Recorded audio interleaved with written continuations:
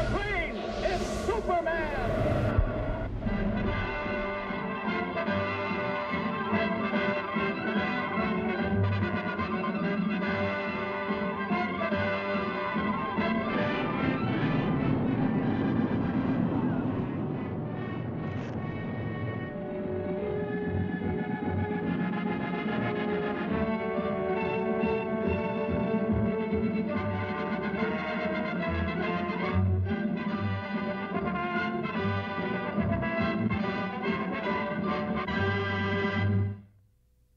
Faster than a speeding bullet. More powerful than a locomotive. Able to leap tall buildings at a single bound. This amazing stranger from the planet Krypton. The man of steel. Superman. Possessing remarkable physical strength, Superman fights a never-ending battle for truth and justice, disguised as a mild-mannered newspaper reporter, Clark Kent.